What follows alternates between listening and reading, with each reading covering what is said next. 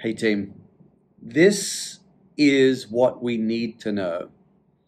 If we're going to practice Hatha Yoga correctly, more importantly, if we're teachers, we're going to teach it correctly. These are the fundamentals that we need to know. These are the A, B's, and C's of Hatha Yoga. We need to know why we practice it. We need to know how to practice it. We need to know what we do when we practice it. So let's have a quick look at those things. Then we can honor Hatha Yoga in the way that it deserves to be honored as this incredible science of self empowerment that also provides us with the opportunity to move beyond self empowerment, beyond this world, and touch in on that part of ourself that is transcendent. Call it soul, call it spirit. In yoga, we call it purusha, the part of our being that is always at rest, eternal, infinite, indestructible.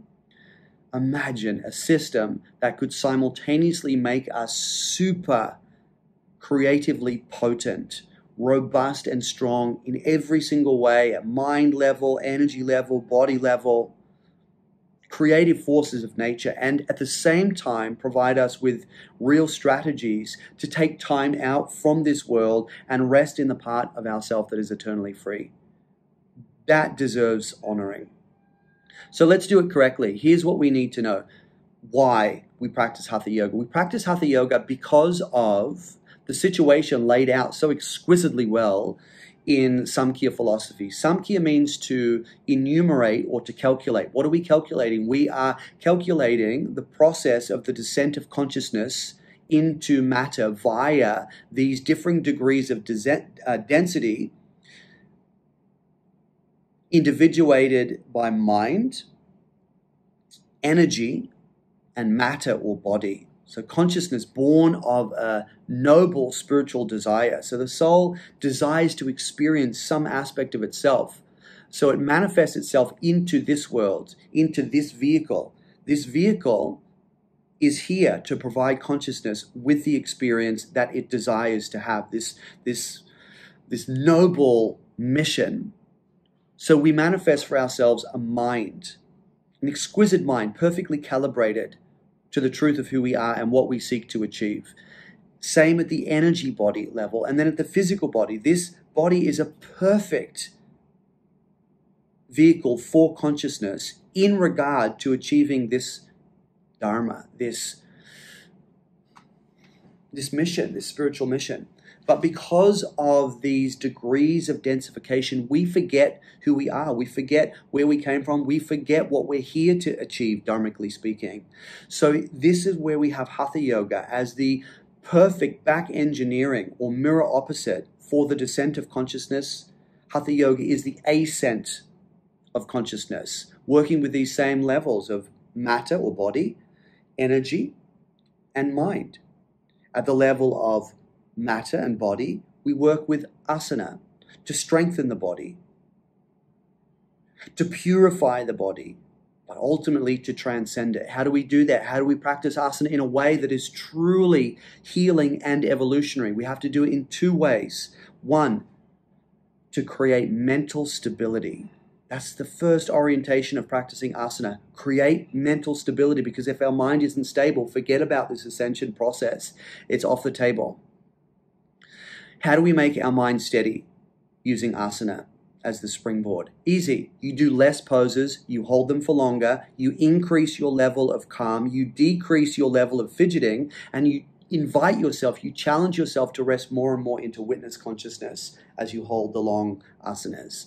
That's first orientation of asana. Second orientation of asana is to work, to begin the work at the level of the energy body. How does asana shape energy? We really need to know this as practitioners and even more so as teachers that there are six pose categories and every pose can fit into one of these six categories forward folds, twists, back bends, laterals, extensions, or inversions.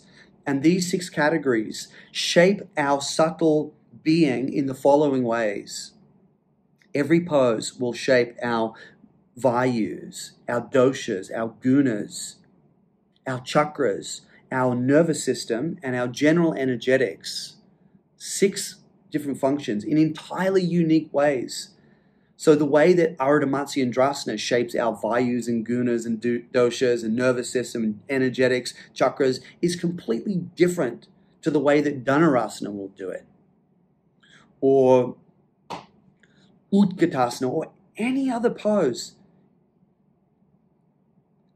Those six pose categories will determine the way that we shape ourselves energetically. We need to know this stuff. Otherwise, what we're doing is just guesswork, and that can go either way. Once we understand how to make the mind stable with asana and work with energy specifically based on these six pose categories, then we heal, strengthen, and ultimately transcend the physical body, and we can move up to that next layer of densification, or in this in this direction, it's the next layer of subtlety, where we work with pranayama, we work with breath retention, kumbhaka, we work with bandha, and ultimately mudra to sensitize ourselves to energy, to help us to tap into that subtle world. We feel the vibrations in our fingertips and our hands. And ultimately, through this work, we start to feel the different flows of energies and the different points of energy. We become fluent in the lang- language of energy. Once we are fluent, then we can start to direct energy. And that's where this hatha process starts to come into play. This fusion of the sun and the moon aspects, this liberation of the, the kundalini force inside of us, the uncoiling of our dormant power, and the expansion of our true creative power, the, the prana shakti. But that's not the end. This is just how we heal, strengthen, and ultimately transcend the energy level and to arrive at the level of the mind, where we work with different meditative, uh, meditative techniques, Kriya Yoga, Mantra Japa meditation, Raja Yoga, to heal the mind, strengthen the mind, purify the mind, clarify the mind, and then ultimately transcend the mind so that we can rest in that part of ourself that is transcendent. Swatmarama says in verse number one of Hatha Yoga Pradipika, salutations to Lord Shiva, primordial guru who instructed Hatha Yoga, which is a light to those who want to ascend the staircase and touch in on that highest form, experience of yoga, Raja Yoga, meditative absorption into the light of the self, which is the gateway, the higher mind, the light of the higher mind is the gateway to our true form, our Svarupa Purusha, the one who is always at rest. So that's the why and the how. The what we practice is a bigger conversation. That is the conversation that we want to have with you during the 50 hour training, starting Wednesday night, going for one week. That's the conversation. It, it needs a week minimum to provide you with all of the little details of what to practice so that we can make this journey and make ourselves more extraordinary versions of ourselves in the process, which is the the the dual power of hatha yoga. It makes us more extraordinary versions of ourselves as we make this ascent and ultimately move beyond this human form and rest in that part of ourself that is always free.